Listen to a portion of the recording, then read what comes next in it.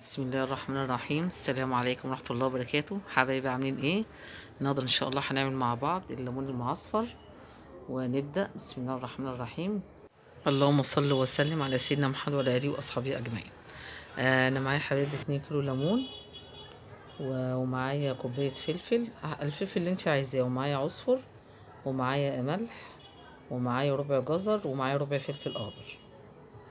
الليمون هنا زي ما أنتوا شايفينه وهنا ال- العصفر آه، مش هحطه كله. وهنا أقل من ربع كيلو فلفل أحمر وربع جزر. ومعايا هنا ده كيس ملح كيس ملح من الصغير. وهنا ربع فلفل أخضر ومعاه قرن أحمر. و... وأنا سبت كام ليمونة أقول لكم أنا. هعمله يعني معاكم إزاي. وطبعا الليمونة بشققها أربع أرباع كده زي البرتقانة. وما أجيبهاش للنهاية يعني ما تفتحيش الليمونة لغاية الآخر خالص. فخليت الكام واحدة دول عشان نعملهم مع بعض. آه، طبعا الليمون ده حبايبي الليمون أنتوا عارفين الليمون دول رخيص في السوق ففرصة بقى كل اللي يجيب يخلي منه قبل ما يغلي. الشتا داخلة بقى والليمون أنتوا عارفين هيغلي آه إن شاء الله دوت أنا هولع عليه يتسلق على البوتاجاز بس هديله يعني يا دوبك ما يقلبش حتى قلب يعني يعني أول بس ما يبتدي يغلي كده آه إن شاء الله هنطلعه مع بعض ونشوف هنعمله إزاي. أنا هنا هحطه في قلب الحلة. وأنا هحط مية في الكاتر تغلي عشان خاطر احطه على اللي يتسلق ما ياخدش وقت معايا. وال... ومعايا تاني حبة ليمون تاني هنعمله مع بعض برضو ليمون ني خالص مش هنسلقه. أنا هولع على ده يسلقه هجيبهولكوا كده على الكاميرا عشان مش باين. هحط عليه مية من الكاتر لغاية ما الحلة تتملي. والمية دي برضو كمان يا جماعة إحنا مش هنرمي المية دي هقول لكم هنعمل بيها هنستفاد بيها برضو. مية السليق ما برميهاش. آه طبعا والفلفل طبعا زي ما هو مش هنيجي جنبه. هولع عليه البوتاجاز يا دوبك بس يعني أنا هوريه لكم يعني يا دوبك بس ما يلحقش يقلب قلب. ماشي حبايبي؟ وبعد كده هنصفيه ونسيبه يبرد وهقول لكم هنعمل مع بعض إيه إزاي. أهو زي ما أنتوا شايفين أهو. يا دوبك بصوا اهي ما فيش حتى ما قلبش القلب يا دوبك غلوة واحدة بس.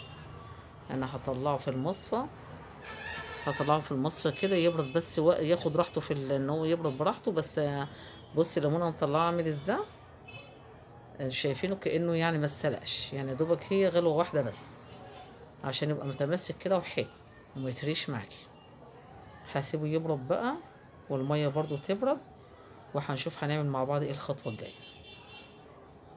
وحاولي تحطي تحتيه حاجة عالية كده عشان المية ما تبقاش لو اتصفى منه مية ما تهريش الليمون من تحت. والمية كلها اهي زي ما أنا قلت لكم مش هنرميها. هقول لكم هنعمل بيها إيه؟ هجيب هنا بقى ال- الفلفل أهو دوت ربع كيلو.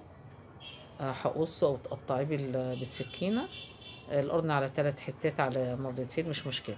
عايزه تسيبيه سليم براحتك. آه، بس أنا بحب أقطعه كده على أساس تكون الحته إيه تبقى حلوة كده على قد ما أنت تاكليها ما تقطعيش فيها وكده. أنا جبت هنا البولة معايا. أدي الليمون شايفين يا جماعة جامد وحلو إزاي؟ مش مهري وحلو إزاي وبرد خالص أهو. أنا البولة أحط فيها ربع الجزر أنا بشراه. أحط ربع الجزر كله. واحط ال- الملح ده كيس ملح. كيس ملح الصغير اللي إحنا بقوله لكم أهو ده الكيس الصغير ده. أحط كيس الملح. واحط العصفر بس مش هحط العصفر كله. وأحط الفلفل الأحمر. الفلفل الأحمر ده الحراق.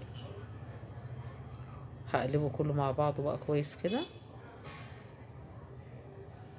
طبعا المعلقة شكلها مش هينفع معانا في التقليب. نشيلها خالص ونقلب بإيدينا. انتي بقى براحتك لو أنتي عايزة تحط حبة البركة حط يعني في ناس كتير قوي بتعمل الليمون المعصفر بحبة البركة. إحنا عشان ما بنحبش حبة البركة ما نحطوش بس أنتي لو حطيتي حبة البركة برضو يبقى جميل قوي قلبي بقى كويس قوي كده الملح مع الفلفل مع الجزر. وهنوريكم هنحشيه إزاي في قلب ال- في البطرمان وهنستفاد بالمية بتاعته اللي إحنا سلقنا بيها إزاي. هجيب البطرمان البطرمان عندي هنا بطرمان عادي بلاستيك لو إزاز يكون أحسن بس هو المتواجد بقى. هحط حبة جزر وأحط حبة فلفل ونحشي مع بعض كام واحدة عشان ما أطولش عليكم الفيديو. أنا بفتح الليمونة كده أحشي من الفتحة من الناحية دي ومن الناحية دي أنا تبقى عاملة زي البرتقانية المفتوحة من كل الجوانب كده حشيها والجزر بيخلي طعم الليمون في منتهى الجمال. يعني أنت لما تيجي تاكل الليمونة وفي قلبها الجزر كده بيبقى طعم الجزر واخد من طعم الليمون بيبقى جميل جدا. آه تحشي الناحيتين كده متحشيش ناحية واحدة عشان تبقى تحسي الليمونة كلها شكلها جميل كده وكلها واخدة من طعم الجزر. أنا حشيت كام واحدة اهي عشان تشوفوها مع بعض. هحط بقى في قلب البطرمان ترصي بقى الرصة ال- الليمون الليمون دوت وتحطي حبة من الفلفل ونكمل لغاية ما البطرمان كله يكمل. أنا حضرتك طبعا مش هيكفي البطرمان ده أنا عندي بطرمان تاني هكمل فيه بقية الليمون ونشوف هنعمل مع بعض إيه. أنا اهو اتملى البطرمان اهو. طبعا بقيته في بطرمان تاني متملاش قوي بس برضه حطيته في البطرمان التاني. آه وهنا آه معايا هنا حبة ليمون دول نيين خالص. دوت يا جماعة مش مسلوق. بس أنا حبيت أقول لكم برضه بحشيه بنفس الحشوة نفس برضه الجزر والفلفل الأحمر والملح. بس دوت آه، طبعا بيغيب قوي عن عن اللي أنا مدياله سلقة دوت. دوت بيغيب ينسيه. يعني يقعد بالشهرين يقعد بالتلاتة زي الزيتون الني كده. هحشيه بنفس الحشوه دي برضو بالجزر بيدي طعم حلو. وبالنسبة للفلفل أنا الفلفل مش هعمل فيه حاجة خالص ولا حتى يعني شققت ولا أي حاجة. آه، لأني لو شقيت الفلفل ولا حاولت إن أنا أحمل آه، أعمل فيه أي حاجة فطبعا دوت بيتهري على طول مع الليمون.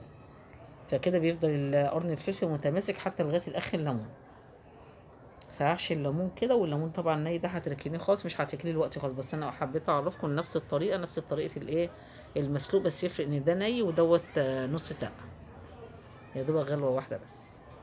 هنحط بقى الفلفل كده نرصه سليم كده في البتاع ونشوف مع بعض إيه هنكمله كله ونشوف مع بعض في النهاية. وطبعا بقية الحشو دوت مش هقول لكم هنعمل فيه.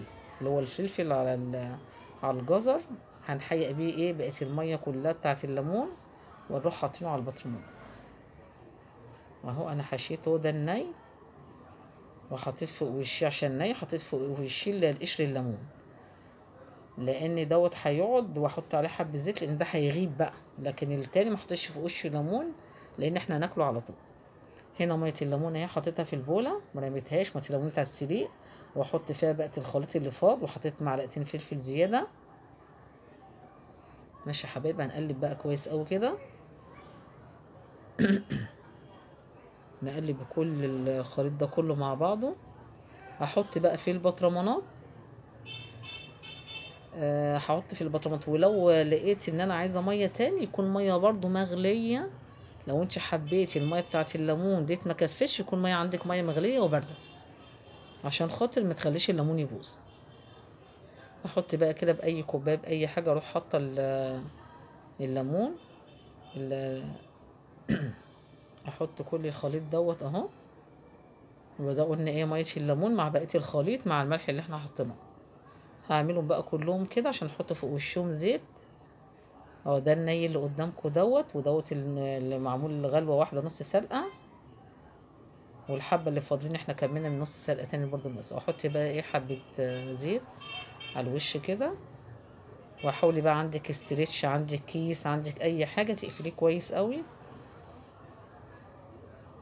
وده بقى تاكلي منه بيبقى طعمه جميل جدا. دوت طبعا هيقعد الليمون دوت هيقعد ممكن بعد عشر أيام أسبوعين تاكلي من اللي هو نص سلقة دوت لكن الني ده انسيه زيه زي الزيتون. آه انسيه بقى ده بيغيب زي الزيتون العزيزي. آه وإن شاء الله ما تنسوناش في ال like وال share ونتقابل في أكلة جديدة من أكلات تيتا نونا والسلام عليكم ورحمة الله وبركاته.